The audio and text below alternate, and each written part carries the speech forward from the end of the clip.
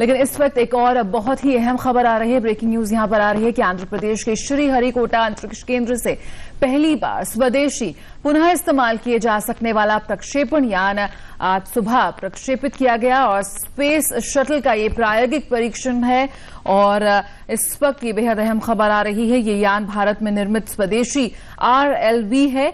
RLV प्रौद्योगिकी प्रदर्शन का मुख्य लक्ष्य पृथ्वी की कक्षा में उपग्रह पहुंचाना और फिर वायुमंडल में दोबारा प्रवेश करना है। ये सीधी तस्वीरें आप इस वक्त देख सकते हैं अपने टेलीविज़न स्क्रीन पर।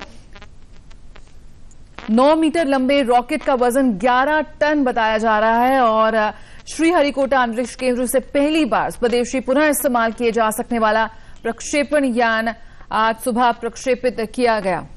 और जया, सबसे खास बात है कि तमाम देशों के क्लब में जो विशिष्ट देश के क्लब है, उसमें भारत शामिल हो गया है। तमाम ऐसे देश थे जो इसको लेकर के री यूजेबल लॉन्च व्हीकल जो आरएलवी की बात आपने कही, उसके लिए लगे हुए थे, लेकिन भारत को ये सफलता मिली है। और स्वदेश निर्मित शटल लॉन्च है, ये ये एक और महत्वपूर्ण बात है।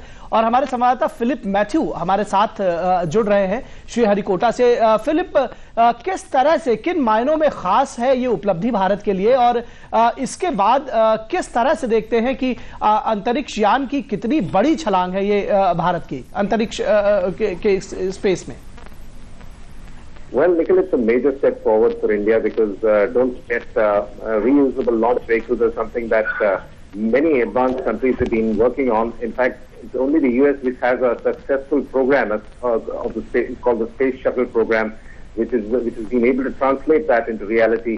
Uh, the Russians have made a, a flight, but uh, frankly, it, it, hasn't been translated into a successful program as yet. There are, of course, uh, programs being conducted by uh, Japan and France, but uh, these are still very experimental. So India has joined a very select club of nations. Uh, of course, this is very early days. ISRO officials say that it, it's still very early to make any predictions about how things will go. In fact, we are still awaiting official confirmation about the launch and the details about whether how, how it has gone.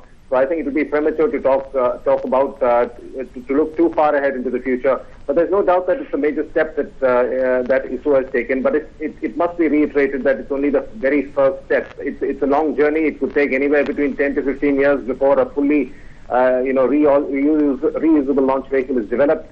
Uh, but having said that, this test flight was basically to, you know, to check out the aerodynamics of the vehicle as well as its, uh, you know, performance, uh, thermal performance of its, uh, you know, outer body uh, during re-entry into the atmosphere. So, so in, from that point of view, this is an important flight, and we'll have to wait for official details about how the flight went from ISRO authorities.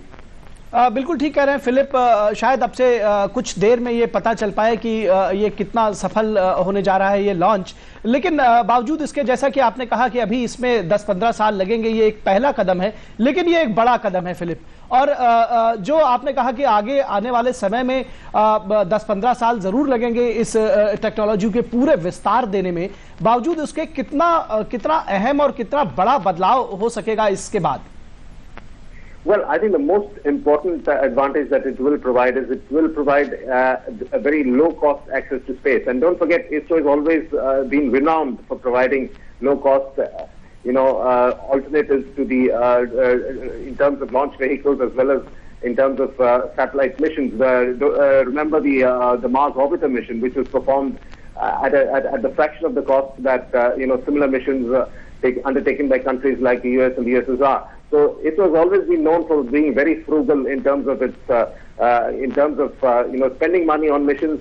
This, of course, will be entirely in keeping with that trend. ISRO is looking to cut down costs by as much as one tenth. In fact, uh, we are told uh, the cost could come down to something like two thousand dollars per kg. So, which which would make it very competitive in the international space launch market. So, this would not only help you know launch vehicles to be reused for a number of launches, but would also enable uh, India to ferry, uh, you know, at some point in time, ferry astronauts into space. Uh, at a much lower cost. So, so this has huge implications. But as I said, this, these are very early days.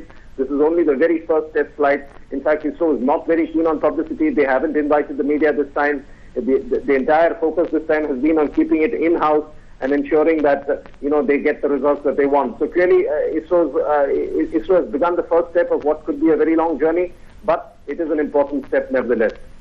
बिल्कुल बहुत शुक्रिया Philip इस तमाम बातचीत और जानकारी के लिए हमारे संवाददाता फिलिप मैथ्यू बता रहे थे कि शटल लॉन्च हो गया है। दोबारा इसको इस्तेमाल किया जा सकने वाला ये शटल लॉन्च है पूरी तरह से स्वदेश निर्मित है।